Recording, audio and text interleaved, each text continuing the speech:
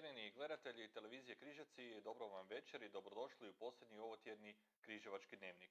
Povećavaju se smještani kapaciteti za vrtićance, te tako više neće biti liste čekanja, a produljuje se i rad dječjih vrtića kako bi se pridonijelo usklađivanju obiteljskog i poslovnog života obitelji.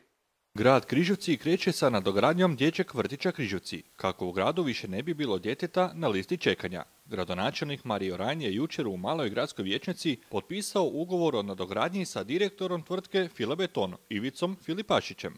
Dobar dan svima, poštovane predstavnice i predstavnici medija, poštovani gospodine Filipašić kao predstavnik uvaženog našeg poduzeća, partnera, poštovani zamjeniče, sve vas srdačno pozdravljam na potpisivanju ugovora koji nam je iznimno bitan jer je prvenstveno rezultat rješavanja potrebe koja se najviše možda iskristalizirala u proteklom mandatu. Dakle, liste čekanja koje su uslijed i dobrih gospodarskih trendova i potreba, ali i onih minimalnih demografskih promjena na bolje, za koje se nadam zaista da će biti u narednim godinama još i više. Lista čekanja nam je već dvije godine prisutna.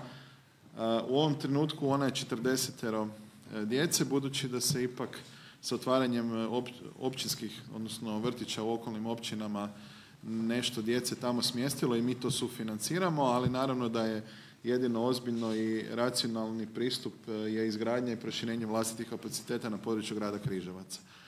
Upravo ovo danas dakle, potpisujemo, riječ je o prvoj fazi nadogradnje našeg vrtića za dodatnih 400 e, kvadrata, metara kvadratnih i dvije dodatne grupe. Procjenjujemo da ćemo tamo moći smjestiti 50 e, novih, odnosno 50, 50 djece, korisnika. Prva je faza radova, dakle ona uključuje građanske radove, možda je gospodin Filipašić malo više. Naravno, nakon toga nam slijedi druga faza i završetak. E, idealno je cilj u sljedeću pedagošku godinu ući sa proširenim kapacitetom, ali puno toga će ovisiti o daljnjim trendovima javne nabave, budući da je ovaj proces proveden samo za prvu fazu radova. A, htio bi se ipak osvrnuti, naime, na u protekle tri i pol godine u gradski vrtić je do sad uloženo sa ovim proširenjem e, preko 6,7 milijuna kuna. Riječ je o energetskoj obnovi vrtića, riječ je o unutarnjem uređenju, dodatnom uređenju dvorane u vrtiću, riješili smo, odnosno sad proširujemo vrtić, riješili smo pitanje parkirališta, odnosno neadekvatnog pristupa dotadašnjeg. U svakom slučaju i kako nam je stalo da podignemo standard jer je u gradskom vrtiću predugo, odnosno zatečeno stanje ukazivalo na predugu nebrigu. E, imamo naravno i upita i molim samo za racionalnost. E, dakle, uređenje okoliša je upravo ono što slijedi nakon ove faze građevinskih radova, ali mislim da moramo svi biti realni da valja prvo riješiti ove grube radove i opremanje dodatnog kapaciteta, a naravno da ćemo odmah potom pristupiti opremanju e, dvorišta sa svim i uređenju dvorišta. Negdje u međufazi nam još ostaje pitanje nadstrešnica, dakle za onaj vanjski dio grupa, to, to će se svakako rješavati uz ovaj e, proces e, proširenja vrtića. Gradonačelnik se ujedno dotakao i projekta produljenog rada dječjih vrtića, kojega je grad prijavio kako bi se bespovratnim sredstvima Europskog socijalnog fonda omogućio produljeni rad dječjih vrtića. Prijavili smo, evo koristim priliku, i projekt e, produljenog rada vrtića jer je i to rezultat potreba građana. E, vjerujem da ćemo uspješno e, dobiti odobrena ta sredstva. Riječ je o dodatnih 1,1 milijun kuna, ali danas je evo trenutak kojim evo, svečano obilježavamo činjenicu da proširujemo gradski vrtić, dodatno ulažemo u vrtičke kapacitete i ponajviše e, ispunjavamo standard građana grada Križevaca koji zaslužuju. Sajam Križevci u Cvijeću će se održati od 16. do 18. travnja. Odlučeno je na prvom sastanku organizacijskog odbora. Kako se 2020. sajam nije mogao održati, ovo će biti njegovo drugo izdanje. Križevci u cvijeću sajam je koji okuplja proizvođače cvijeća, promovira cvijeće te omogućava posjetiteljima kupno cvijeća po sajamskim cijenama. Sajam će se ove godine održati od 16. do 18. travnja, ako to dozvole epidemiološke mjere. Članovi organizacijskog odbora razgovarali su o pripremi programa sukladno preporučenim epidemiološkim mjerama, te se složili da se krene s objavom javnog poziva za izlagače na sajmu.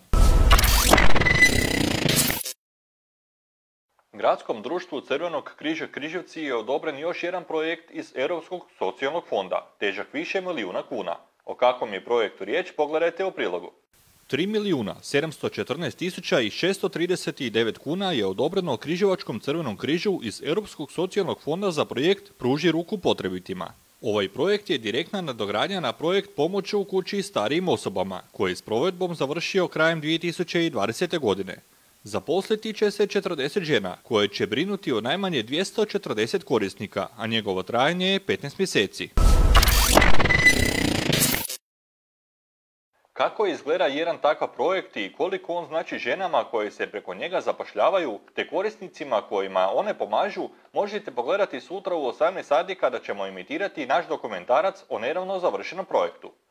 Prije dva tjedna imali smo prilog u humanitarnoj akciji za Karla Sokača, teško stradalog križevačkog nogometaša. Akcija je pri kraju, a podržao je i gradonačelnik Mario Rajn. Križevčanka Nevenka Skoković na Strosmarovom trgu prodaje rukotvorine, a prikupljena sredstva sakuplja za liječenje križevačkog nogometaša Karla Sokača.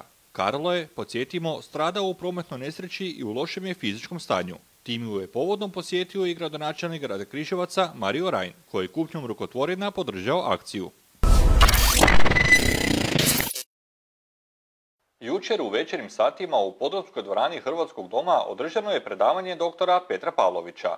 Bila je to još jedna aktivnost organizirana putem Future Hub projekta Udruge Point. Na znanstveno popularnom predavanju predavač Petar Pavlović govorio je o skrivenoj vezi između gravitacije i elektromagnetizma. Unatoč situaciji prouzrokovanoj pandemiji koronavirusa odaziv je bio velik. Predavača je predstavio Ratko Matić, predsjednik udruge Perzeidi koja je jedan od partnera na projektu Future Hub Križaci.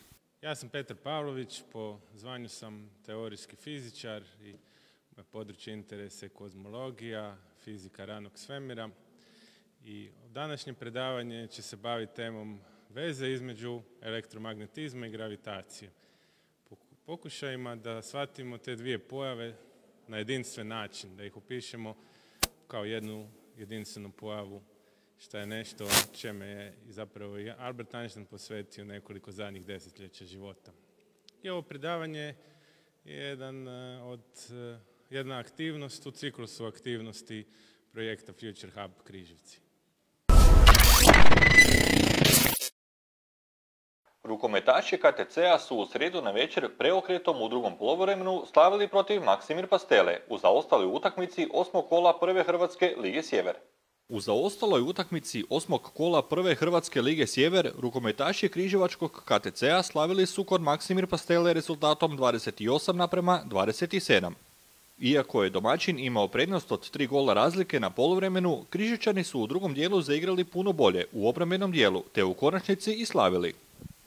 Perajca se istaknuo sa osam golova za momčad KTC-a, koja je trenutno na trećem mjestu prvenstvene ljestvice, i za Moslavine, koja ima samo bod više. U idućem kolu KTC gostuje kod Virovitice. Za zadnju vijest dana prije naše odjave vam predstavljamo novu pjesmu križevačkog benda Kids from the Sky. Pjesma se zove Zemlja, a ona je zadnji singl u konceptualnom EP-u Elementi. Uživajte!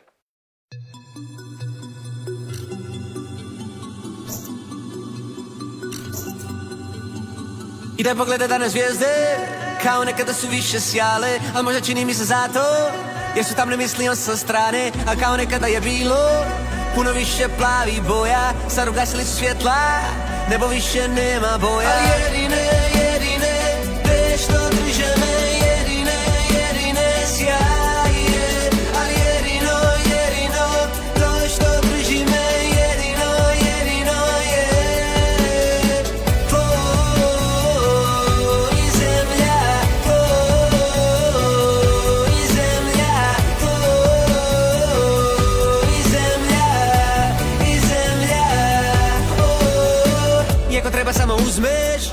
ti dajem cijelog sebe Jer jasno mi je već odavno. Nema povratka na staro A kao nekada je bilo. Puno više plavih boja Sad ugasili su svjetla.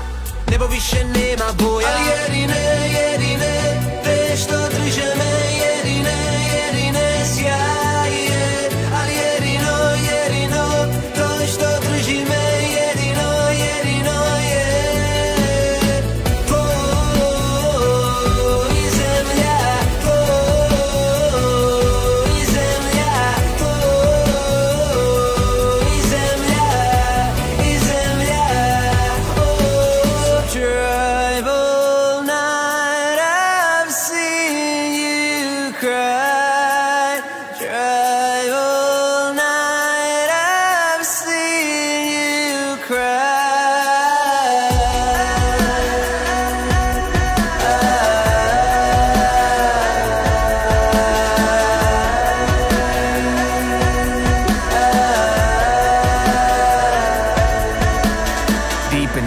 hidden some things. I can show you some things, I can lead to those things. If I show you his wrist, you can see the diamonds. Now the punishment stands, he's holding my wrist, wrist, wrist, wrist. Ah, he's holding my wrist, wrist, wrist, wrist, wrist. Ah, he's holding my wrist, wrist, wrist, wrist, wrist. Ah, he's holding my wrist, wrist, wrist, wrist, wrist. Ah, he's holding my wrist, wrist,